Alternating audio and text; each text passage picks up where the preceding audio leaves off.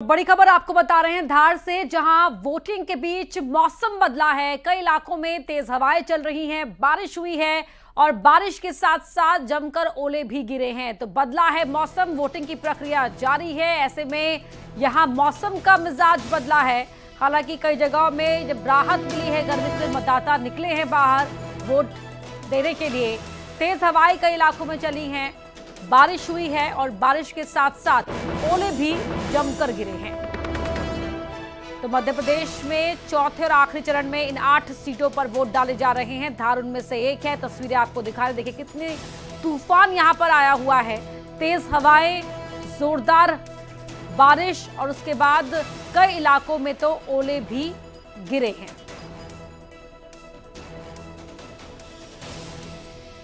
आप इन तस्वीरों को देखकर समझ सकते हैं कि किस तरह से यहाँ पर जब मौसम बदला, तेज हवाएँ शुरू हुई, उसके बाद लोगों में अफरा तफरी भी मच गई। ये आप देखिए शामियाना उड़ता हुआ देखकर आप समझ सकते हैं कि यहाँ पर कितनी तेज हवाएँ चल रही थी। धार की तस्वीरें हैं ये। और जोरदार बारिश के साथ ओलावृष्टि भी हुई है। तो ऐसे में अब अगर ऐसे ही मौसम रहता है तो वोटिंग की प्रक्रिया धीमी हो सकती है क्योंकि मतदाता ऐसी परिस्थितियों में घर से बाहर निकलने का जो फैसला है, किस तरह से लेते हैं? क्योंकि अभी भी वक्त बचा हुआ है। लेकिन हम लगातार आपसे अपील कर रहे हैं कि देखिए, आप, अगर आपके क्षेत्र में पोलिंग हो रही है तो आज ये वोट देने का अवसर अपने हाथ से ना जाने दें। हर हाल में पोलिंग बूथ तक पहुँचे। पूरी सावधानी बरतते हुए मताधिकार का इस्तेमाल ज़रूर करें और उसके बाद अपनी तस्वीर न्यूज़ एटीन को भेजिए। हम आपकी तस्वीर, आपके नाम, आपकी लोकेशन के साथ दिखाएँगे और धार में ये देखिए मौसम बदला है और बदले हुए मौसम के बाद किस तरह तस्वीरें वहाँ पर देखने को मिली हैं, ये वीडियोस आपके टीवी स्क्रीन पर आप देख पा रहे हैं। आठ सीटों की जंग है, सात चरणों में देश में चुनाव होना है नवीन मेहर धार से जुड़ गए हमारे साथ फ़ोन लाइन पर। नवीन, ये वीडियोस बता रहे हैं कि किस तरह से वहाँ पे मौसम में बदलाव देखा गया है। अभी क्या हालात है वहाँ पर? जी हाँ बिल्कुल बताना चाहूँगा कि दिन भर जो है भीषण गर्मी के बीच में जो है मतदान यहाँ जारी रहा और शाम तक जो है यहाँ पे गर्मी जो है वो भीषण पड़ी है और तीन बजे तक का मतदान जो है वो करीब साठ परसेंट के आसपास यहाँ पर रहा। लेकिन जैसे ही शाम हुई, वैसे ही यहाँ पर जो है तेज हवाएँ चलना शुरू हुई। इसके बाद में जो है बारिश हुई और बारिश के साथ में जो है ओले भी यहाँ पे कुछ स्थानों पर जो है गिरे हैं। तो पूरे ज़िले में जो है ग्रामीण इलाकों में भी बारिश हुई है और धार में भी हुई है बारिश। तो इन सबके चलते जो है अभी कुछ टेंट जो है जो कि केंद्रों के बाहर लगाए गए थे, मतदान केंद्रों के बाहर लगाए गए थे, और साथ ही मतगणना स्थल के बाहर भी एक टेंट लगा हुआ था। तो वो भी जो है तेज हवा के चलते जो है उखड़ चुका है और यहाँ से जो है इस प्रकार की अव्यवस्थाएँ कुछ हुई है। लेकिन अभी जो है अभी हालात ये है कि अभी हवा यहाँ पर रुकी हुई है वो पानी भी अभी थमा हुआ है। तो कुछ ही देर में जो है ये टेंट की व्यवस्था जो है जिला प्रशासन द्वारा जो है। वो ठीक कर ली जाएगी। बहुत धन्यवाद नवीन आपका इस पूरी जानकारी के लिए। और अब बात झाबो की, जहाँ अचानक मौसम में आए बदलाव की वजह से कई पोलिंग बूथ पर मतदान प्रभावित हुआ है। तेज आंधी के बीच हुई झमाझम बारिश की वजह से मतदान केंद्रों पर लगे टेंट धराशायी हो गए। पेटलावत के कन्याशाला मतदान केंद्र पर मतदान के लिए लगाया गया टेंट गिर गया तो वहीं थानला के करंजपारा मतदान केंद्र पर भी टेंट हवा में उड़ गए। झाबुआ की तस्वीरें, कई मतदान केंद्रों पर जो टेंट लगाए गए थे, गर्मी से राहत ताकि वहाँ पर मिल पाए, वो धराशायी हो गए। झाबुआ लोकसभा सीट के लिए मतदान की प्रक्रिया जारी है, लेकिन आप देख सकते हैं कि अचानक से झावा ज़िले में मौसम में बदलाव हुआ है और कई जगहों पर बारिश देखने को मिल रही है, कई जगहों पर तेज आंधी, तूफ़ान भी देखने को मिल रहा है। अगर हम थानला विधानसभा क्षेत्र की बात करें पेटलाव विधानसभा क्षेत्र की बात करें तो वहाँ पर तेज बारिश देखने को मिली है, हवा आंधी देखने को मिली है और कई जगहों पर जो मतदान केंद्र है, वहाँ पर जो टेंट लगाए गए थे, वो टेंट उड़ गए हैं। झावा विधानसभा की बात करें तो यहाँ पर भी बादल छा गए हैं और अभी समय जो करीब पाँच बजे हो रहा है और अभी से आप देखेंगे चारों तरफ़ अंधेरा छा गया है, बादल छाए हुए हैं, हल्की बूंदाबांदी हो रही है और बिजली चमक रही है। जो मौसम के बदलाव के कारण अभी जो मतदान केंद्र है, ग्रामीण क्षेत्रों की बात करें तो वहाँ पर इक्का दुक्का लोग ही पहुँच रहे हैं। तो अचानक जो मौसम बदला है, उससे लोगों को जो गर्मी उसमें राहत ज़रूर मिली है मिली है। लेकिन मौसम बदलाव के कारण कई जगहों पर जो है, मतदान केंद्र के बाहर जो टेंट लगाए गए थे, वो टेंट उड़ गए हैं और मतदान केंद्रों पर भी अब वैसी भीड़ नहीं दिखाई दे रही है। Virendra Singh Rathore news eighteen Jhabua. Shahjahanpur में भी मौसम का मिजाज बदला है। तेज हवाएँ चली हैं जोरदार बारिश हुई है। कई जगहों पर ओले भी गिरे हैं और कई मतदान केंद्रों पर पंडाल यहाँ खराब हो गए। बारिश ओले गिरने से मतदान की प्रक्रिया प्रभावित हुई है। मौसम का मिजाज बदला है। तेज बारिश के साथ ओले गिर रहे हैं। आप तक देख सकते हैं यहाँ पर ये मतदान केंद्र के बाहर का नज़ारा है। ये यहाँ पर पूरा केंद्र जो है, आप देख सकते हैं, यहाँ पर जो पांडाल लगाया गया था, वो पूरी तरीके से धाराशाही हो गया है। इसके अलावा पांडाल आप देख सकते हैं, क्षतिग्रस्त हो गया है। बारिश के साथ साथ यहाँ पर ओले भी गिर रहे हैं, आप देख सकते हैं, नीचे तस्वीरों में। बारिश के चलते मतदान पूरी तरीके से प्रभावित हो गया है और जिसके चलते कई मतदान केंद्रों के बाहर इसी तरीके के नज़ारे देखने को मिल रहे हैं। विशेष सजावट के साथ ये मतदान केंद्र बनाया जाता है, लेकिन इसकी हालत इस तरीके की हो गई है। ये पांडाल कभी भी गिर सकता है। और कई मतदान केंद्रों वहीं इंदौर में भी मतदान के आखिरी दौर में जोरदार बारिश हुई है। तेज आंधी चली है। बारिश के चलते मतदान प्रभावित। आखिरी घंटे का मतदान प्रभावित हो सकता है। ये बड़ी खबर इंदौर में, जो दोपहर एक बजे तक 48 प्रतिशत के आसपास का जो आंकड़ा रहा था, जो अभी अपडेट होकर कितना आता है वो हम आपको बताएँगे, लेकिन आखिरी के एक घंटे में जब माना जाता है कि वोटिंग की प्रक्रिया में रफ्तार देखने को मिल सकती है, मौसम के चलते यहाँ प्रभावित हो सकता है। मुंबई में भी तेज आंधी में आंधी चली है, यहाँ बिजली का खंबा गिर गया, ठाणे बेलापुर रोड पर एक खंबा गिरा है, खंबा गिरने से रास्ता बंद हो गया। ये मुंबई की खबर आपको बता रहे हैं। देखिए, यहाँ पर ट्रैफ़िक जारी था और ऐसे में देखिए, खंबा गिर गया तेज आंधी के बाद और उसकी वजह से इस रास्ते पर ट्रैफ़िक बाधित हुआ है। ये तस्वीरें मुंबई की आप देख रहे हैं, ठाणे बेलापुर रोड पर। देखिए, किस तरह से खंबा गिरता है, वो आप इन तस्वीरों में देख सकते हैं। और गाड़ी, सवारों ने गाड़ी को पीछे लिया। ये देखिए, ये पूरा खंबा नीचे गिर गया।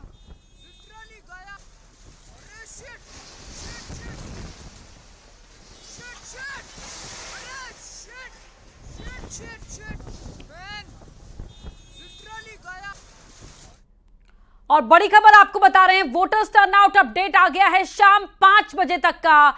मध्य प्रदेश में अड़सठ दशमलव शून्य एक प्रतिशत वोटिंग हुई है।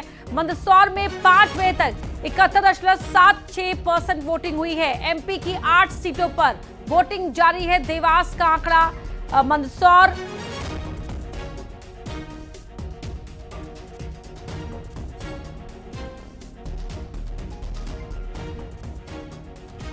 इकहत्तर दशमलव पाँच तीन प्रतिशत। देवास में पाँच बजे तक का ये वोटर्स टर्नआउट है। धार में 67.55 परसेंट मंदसौर में 71.76 परसेंट उज्जैन में 70.44 परसेंट ये वोटर्स टर्नआउट है। मतदाता प्रतिशत है कितने मतदाताओं ने वोट डाला है, कितने प्रतिशत रहा है।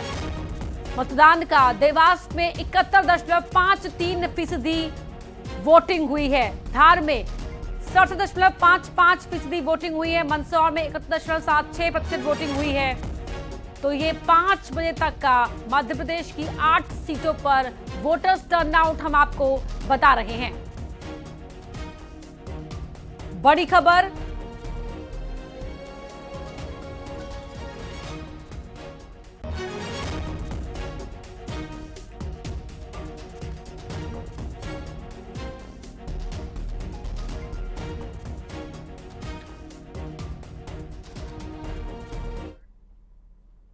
तो हमारे साथ खास मेहमान जुड़े हुए हैं। मेरी सहयोगी ऋतु भी आप देख पा रहे हैं। वर्चुअल स्टूडियो से मेरे साथ जुड़ी हुई हैं।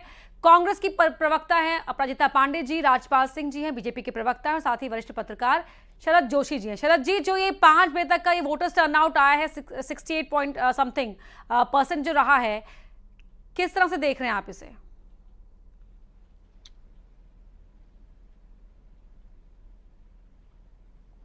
मतदान का प्रतिशत अन्य जो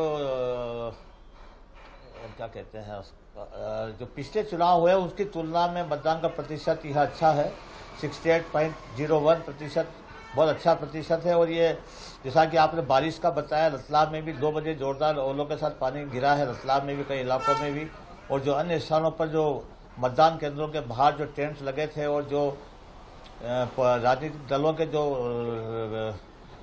टेबलें लगी थी, वहाँ भी ये टेंट धराशय हो गए हैं और मतदान का जो एकदम मतदान का जो प्रतिशत था, वो थोड़ा प्रभावित हुआ है। और यदि पानी नहीं गिरता तो निश्चित रूप से मतदान प्रतिशत बढ़ता। लेकिन उसके बाद जैसे पानी रुका, मतदान केंद्रों पर लोगों की भीड़ जमा है। और अभी भी कई मतदान केंद्रों पर मतदाता लाइनों में लगे हुए हैं। इससे ऐसा लगता है कि मतदान का प्रतिशत कम से कम सत्तर से पिचहत्तर प्रतिशत तक रतलाम का जाएगा। जैसा कि अभी बताया गया है कि तीन बजे तक अड़सठ प्रतिशत था मतदान फिफ्टी नाइन प्रतिशत झापा संसदीय क्षेत्र का वह बढ़कर पिचहत्तर के आसपास पहुँच जाएगा। जी। और और जैसा कि ये बताया गया भाजपा की प्रवक्ता बता रहे थे भाजपा हुआ है। हालाँकि अभी तक हम देख रहे थे थे। सुस्ती जो है वोटर्स की नज़र आ रही थी। कई जगह पर उत्साह भी देखा गया। ठीक लौटेंगे आपके पास। पांडे जी भी जुड़ी हुई हैं हमारे साथ। किस तरह से देख रही हैं? कितना आश्वस्त हैं? और किन किन सीटों को लेकर के आप आश्वस्त इस बार नज़र आ रही हैं? इन आठ में से आठ का ज़िक्र कर रही हूँ मैं। पिछली बार मध्य प्रदेश में कितना था वोटिंग परसेंटेज कितने प्रतिशत था? 76 परसेंट इस बार जिस तरीके से आपने कहा मौसम का मिजाज और माहौल तो बदल ही रहा है। देश का मिजाज और माहौल भी बदल रहा है। और ये प्रमाण कर प्रमाणित कर रहा है वोटिंग परसेंटेज जे और मैं एक और चीज़ यहाँ पे बताना चाहूँगी। इंदौर सीट का हम ज़िक्र कर रहे थे तो कुछ बातें छूट गई थी पिछली बार ब्रेक आ गया था। भारतीय जनता पार्टी की फॉर्मर स्पीकर सुमित्रा महाजन जी ने स्वयं कहा कि जिस प्रकार से डराकर धमकाकर भारतीय जनता पार्टी ने ये निम्न स्तर की राजनीति की इंदौर में वो गलत था जिस प्रकार से आपने प्रत्याशी को डराया धमकाया। जब प्रत्याशी गया अपना नामांकन विड्रॉ करने तो वो किसके साथ गया था? कैलाश था विजयवर्गीय के जी। साथ। विजयवर्गीय जी के साथ। पर ये क्या स्वाभाविक नहीं क्या ये प्रमाणित नहीं कर रहा? कि क्या हो रहा था इंदौर में? लेकिन ये शब्द नहीं थे। नहीं नहीं के बोल शब्द शब्द ये थे कि ये गलत है। शब्द बिल्कुल असत्य भारतीय जनता पार्टी बोलती। सुमित्रा महाजन जी ने कहा जो हुआ गलत हुआ यही शब्द थे उनके। कि ये गलत कहा। सुमित्रा महाजन जी ने कहा ये राजनीति नहीं करनी थी डराना धमकाना नहीं था ये सुमित्रा महाजन जी ने कहा। सुमित्रा महाजन जी ने सुमित्रा महाजन ने कहा था कि मेरे पास कई लोगों के फ़ोन आ रहे हैं कि बीजेपी को ये करने की आवश्यकता क्यों पड़ी? हम नोटा को वोट देंगे लेकिन मैंने कहा नहीं बीजेपी का प्रत्याशी खड़ा है आप बीजेपी को वोट दीजिए। ये उनका पूरा वक्तव्य था। बि- बिल्कुल था पूरा वक्तव्य बट इस तो वक्तव्य में साफ़ साफ़ सुमित्रा महाजन जी ने कहा था कि ये गलत हुआ ये करने की भारतीय जनता पार्टी को कोई ज़रूरत या आवश्यकता नहीं थी। निम्न स्तर की राजनीति पे उतरने के लिए भारतीय जनता पार्टी को कोई आवश्यकता नहीं थी। ये मेरा रुके रुके रुके ये रुकिए सुमित्रा रुकिए रुकिए का रुकिए रुकिए वक्तव्य रुकिए था। रुकिए दोनों सिसोदिया जी सिसोदिया जी एक बात का जवाब दीजिए। अभी कुछ देर पहले कुछ देर आप पहले कह रहे थे कि आपका सिक्का खोटा है हम हमको क्यों दोष दे रहे हैं? आपकी आँख पर आकर वो सिक्का चल गया। बात पूरी उस पर नहीं हो पाई थी इसका जवाब दीजिए। सारे सिक्के आप खोटे लेकर आते हैं आप बोलते हैं कि कचरा है वहाँ से लाए हैं। वॉशिंग मशीन की तरह आप साफ़ कर देते हैं उसमें। क्या? अक्षय बम को हमने पदाधिकारी बना दिया। पदाधिकारी नहीं बनाया पार्टी ने तो। प्रत्याशी बना दिया। हमने क्या क्या बना दिया बना दिया जनता के बना सामने खड़ा कर दिया। प्राथमिक सदस्य बनाए ना। ऐसे प्राथमिक सदस्य लाखों की संख्या में है करोड़ों की संख्या में है जैसा अक्षय बम है। क्या हमने पदाधिकारी बना दिया? मंत्री बना दिया? राज्य मंत्री बना दिया? कोई दर्जा दे दिया? कुछ नहीं दिया है। इसका क्या और कुछ मतलब नहीं है? देने वाले क्या बात हुई? कुछ नहीं देने वाले है? ये भी सुन लो आप इम्पोर्ट फ्रॉम कांग्रेस अभियान चला रहे हैं। आपके पास भारतीय जनता पार्टी में भाई। प्रत्याशी नहीं बचा था बहुत सारे सदस्य बने हैं भारतीय जनता पार्टी के। एक सदस्य वो बन गया। क्या फ़र्क पड़ रहा है उससे? हमने क्या उनको ड्राइविंग सीट पे बिठा दिया? आपने आपने आपने कहा ना ना ना हमने कोई पद दिया है और ना हम देने वाले हैं। तो फिर आखिर कुछ ना कुछ तो दिया होगा ना। कुछ ना कुछ तो दिया होगा ना जो आपके पाले में हुआ आए। क्यों आए? कुछ नहीं दिया। इसलिए आए कि कांग्रेस ने राम मंदिर का नोता ठुकरा दिया। इसलिए आए कि कांग्रेस अरे राम है। मंदिर का मुद्दा तो ही नहीं। मुद्दा तो कुछ और है उसे स्वीकार कर लीजिए। डराने धमकाने की राजनीति नहीं चलेगी। कि उन्होंने कहा कि जीतू पटवारी और उनकी टीम मुझे जो ब्लैकमेल कर रही है न सहायता कर रही है न चुनाव प्रचार कर रही है ना पैसा दे रही है कुछ नहीं कर रही तो भाई मैं इस पार्टी में चुनाव कैसे लड़ूँगा? जाके नेता ही लड़ने नहीं आ रहे हैं। चुनाव पार्टी छोड़ देते ना किसी और पार्टी को ज्वाइन करने की आवश्यकता क्यों थी? और आपने कहा कि पद नहीं दिया हमने कुछ नहीं दिया तो। नंबर्स बढ़ाने के लिए आप शामिल करते जा रहे हैं क्या? एक नया रिकॉर्ड तो- बनाएँगे क्या? पाँच हज़ार पाँच लाख पाँच करोड़ से ऊपर। के भारतीय जनता पार्टी के लाखों सदस्य है। अरे ठीक है ना जो आपके काडर वाले हैं? राजपाल जी देखिए आप की नहीं है पार्टी के। जी की बात नहीं है यहाँ पर। आप कांग्रेस मुक्त भारत की बात करते हैं बीजेपी खुद कांग्रेस युक्त होती जा रही है उस पर जवाब दीजिए। ऐसा नहीं है ऐसा नहीं है बिल्कुल नहीं है। कोई हमने उन पर ड्राइविंग सीट पे नहीं बिठा दिया है। ऐसे हज़ारों कार्यकर्ता हमारे पास है एक वो पढ़ा लेगा हमारी संख्या पुरुष में। क्या फ़र्क पड़ रहा है उससे देखिए बात सीधी सीधी ये है कि नाराज़ वो कांग्रेस से लास्ट उसने कांग्रेस के नेताओं को मारी उसने क्या कहा कि कांग्रेस के लोग मेरा प्रचार इस प्रकार की अभद्र के भाषा मत। हूँ। अपना एक हैं। असली चाल तो चरित्र चेहरा मत उजागर करिए शांत हो जाइए राजपाल जी राजपाल जी करिए। राजपाल जी अरे आप है? अपनी पार्टी के निष्ठावान कार्यकर्ता है ना शांत हो जाइए एक मिनट शांत हो जाइए सर आपकी ना ये एक्चुअली ऑडियो की ब्लास्ट हो रहा अभद्र है भाषा है जो मत कीजिए, हैं। लात blast हो रहा है, एक ये मिनट। भाषा हुई अपराजिता जी राजपाल जी शांत हो जाइए। आप तो हमेशा मुस्कुरा मुस्कुरा कर बात करते हैं। सर क्यों इतना सा आपा हो रहे हैं? शांत हो जाइए। राजपाल जी एक मिनट। ठीक है राजपाल जी। ठीक हो है। जी। अरे आपको मिलेगा पूरा वक्त। एक मिनट रुक जाइए। आप ऑडियो ब्लास्ट हो रहा है एक्चुअली ऑडियो ब्लास्ट हो रहा है। एक मिनट सर आज तो आपने नई पगड़ी पहनी है सर क्यों इतना गुस्सा हो रहे हैं? ठीक है। आपने कही कि वॉशिंग मशीन डाल के तो क्या हमने उसको पदाधिकारी बना दिया क्या अक्षय बम को क्या अक्षय बम को हमने अध्यक्ष बना दिया क्या क्या अक्षय बम को हमने हमने एक जगह की बात ही नहीं की। आप बात ही नहीं मान रहे। आप बात ही नहीं मान रहे। पार्लियामेंट में यूज़ सुनिए बात सुनिए उसे प्रभारी बना दिया। बात सुनने का भी रखिए। आप जवाब दे रहे हैं। चलिए ये तो इंदौर की बात है इंदौर की बात है। आप सारी सीटों पर आश्वस्त हैं। उनतीस का लक्ष्य लेके चल रहे हैं। रतलाम खरगोन इन तौर पे। सब की क्या स्थिति यहाँ पर टक्कर मान रहे हैं क्या? छोड़िए इंदौर को आप छोड़िए। सीट में कांग्रेस ज़ीरो हो रही है।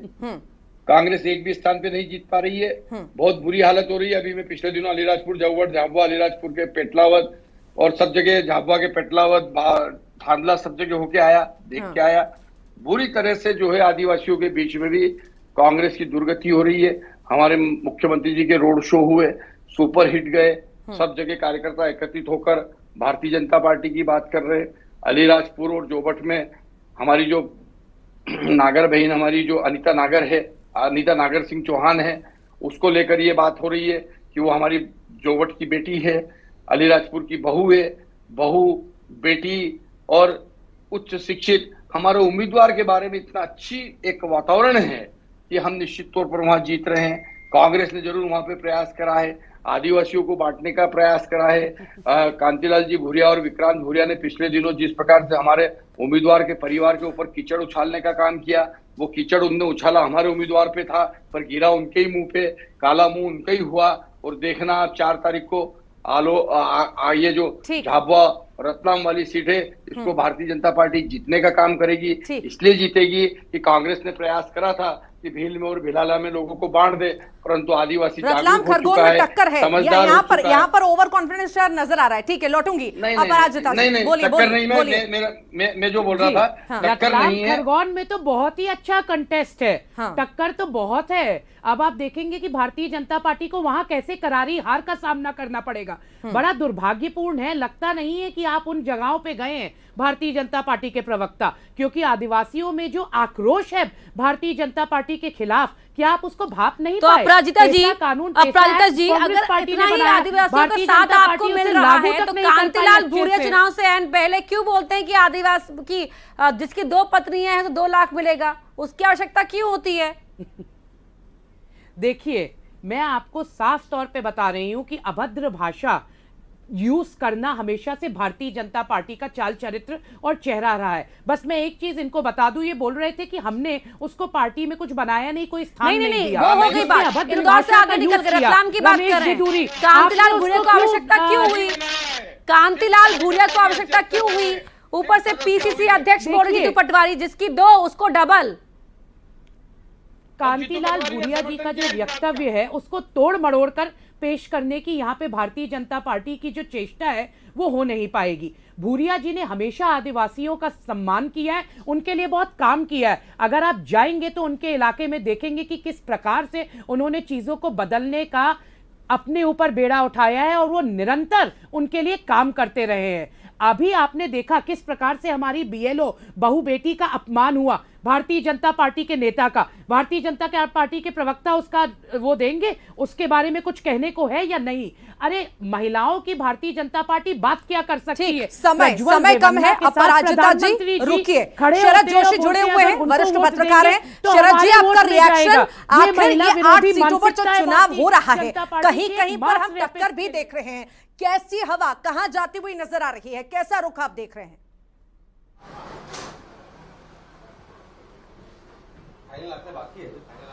भारतीय जनता पार्टी और कांग्रेस के दो, दोनों नेताओं का जंग देख रहा हूँ मैं। मुझे आश्चर्य इस बात का होता है कि जनता तो इस दोनों के मामले में गायब हो गई है। क्योंकि यह चुनाव भारतीय जनता पार्टी वर्सेस जनता के बीच हो रहा है। जनता जिन महँगाई बेरोजगारी भ्रष्टाचार से संघर्ष कर रही है घासलेट जैसी चीज़ बाज़ार से गायब हो गई है उनको बंद कर दिया गया है। यह तो चुनौती का समय है किसको क्या लाभ मिलेगा ये तो चुनाव परिणाम में बताएँगे कि कांतिलाल जी भूरिया क्या हैं और अनिता नागर सिंह चौहान जी क्या हैं। कई मामले में सिसोदिया जी ने अपनी बात कही सही बात भी है कि झाबा ज़िले में भारतीय जनता पार्टी का प्रभाव पिछले वर्षों से बढ़ा है क्योंकि यह समाजवादियों का गढ़ रहा है और कांग्रेस हमेशा जीतती आई है। लेकिन दिलीप सिंह भूरिया को कांग्रेस से बीजेपी में लाकर ठाकरे जी ने चुनाव लड़वाया था और दिलीप सिंह जी को सफलता मिली। थी। तब से भारतीय जनता पार्टी दावे सभी के अपनी तरफ़ है लेकिन तय जनता को ही करना है। बहुत बहुत शुक्रिया आप सभी का बातचीत के लिए लेकिन हम जिस चुनावी चर्चा है लगातार आगे बढ़ाते रहेंगे और हर अपडेट आप तक पहुंचाते रहेंगे। फ़िलहाल रुक एक छोटे से ब्रेक के लिए।